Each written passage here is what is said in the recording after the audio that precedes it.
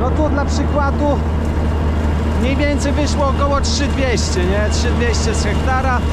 Tam gdzie jadę dokończyć, to tam będzie może 3700, 3800. To taka najlepsza działka. Ale najwięcej nawozu dostała. No i to mówię, to tak gdzieś w tych granicach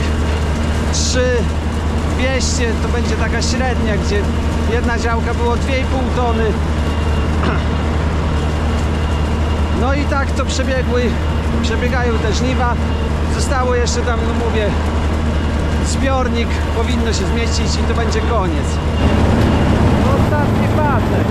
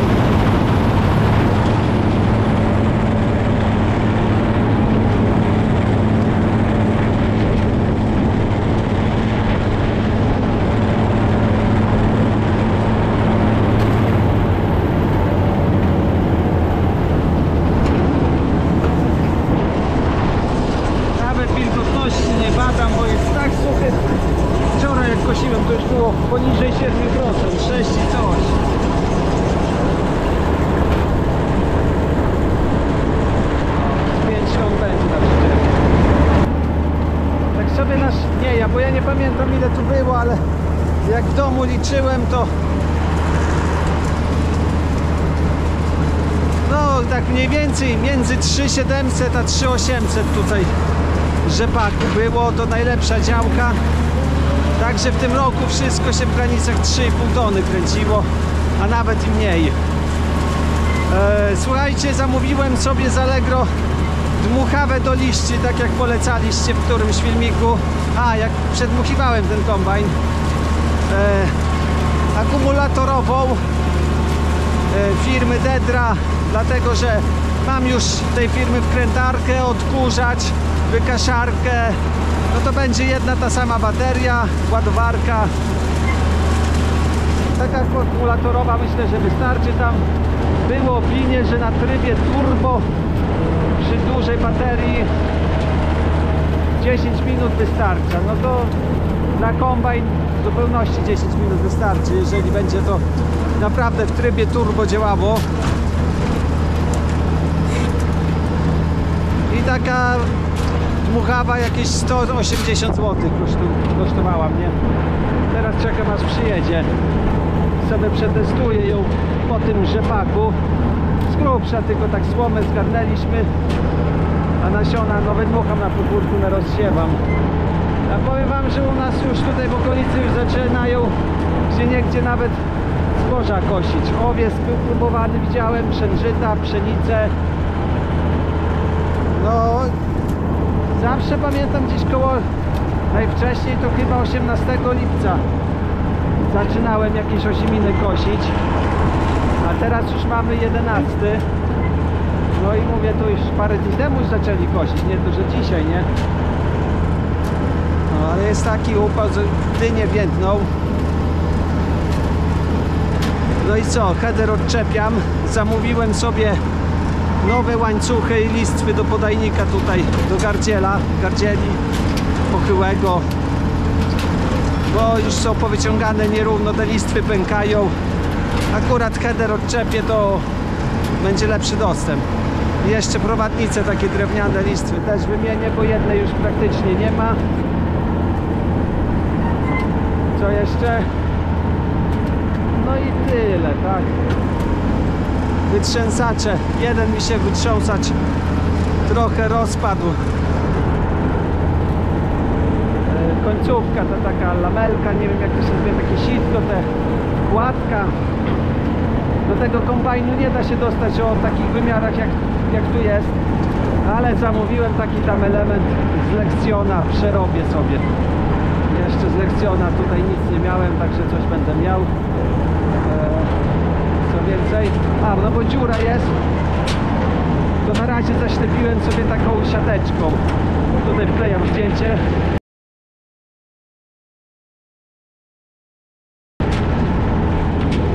I tak to wyglądało. I teraz już o ten półtora hektara rzepaku na takim czymś dokosiłem. Bo jeszcze wcześniej hektar kosiłem na takiej dziurze bez, tego, bez tej siatki. Trochę brudu leciało.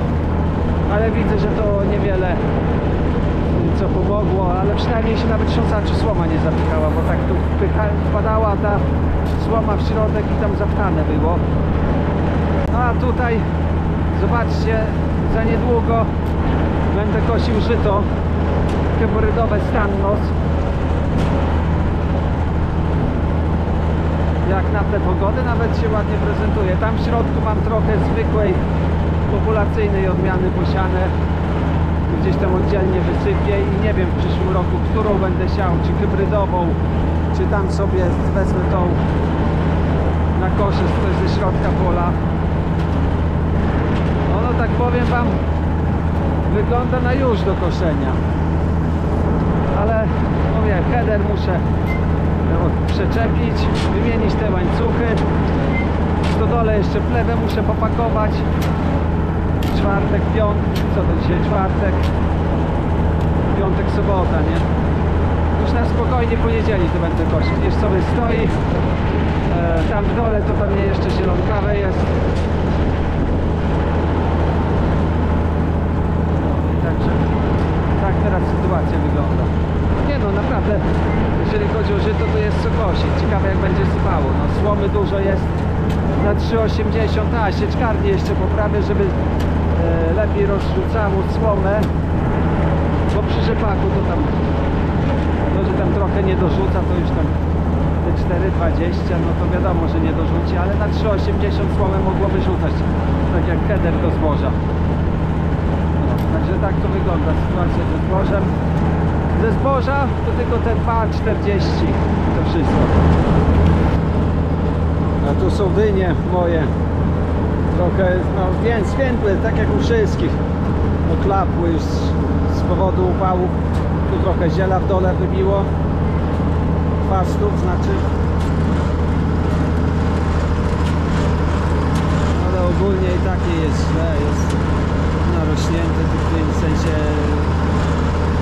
No zobaczymy jeszcze ile owoców będzie. No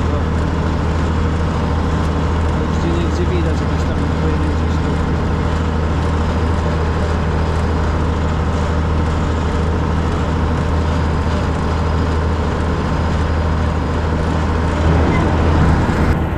Chyba jakaś burza idzie albo deszcz, bo tam taka taka ciemna chmura w oddali. Czyżbym zdążył w ostatniej chwili? Tu będziecie mieli informację, czy był deszcz, to jak tak, to po jakim czasie od tego momentu. Nie wiem, czy jeszcze na skup zdąży z tym pojechać, bo przyczepa bez plandeki. A nie bez przyczyny tutaj włączyłem kamerę, bo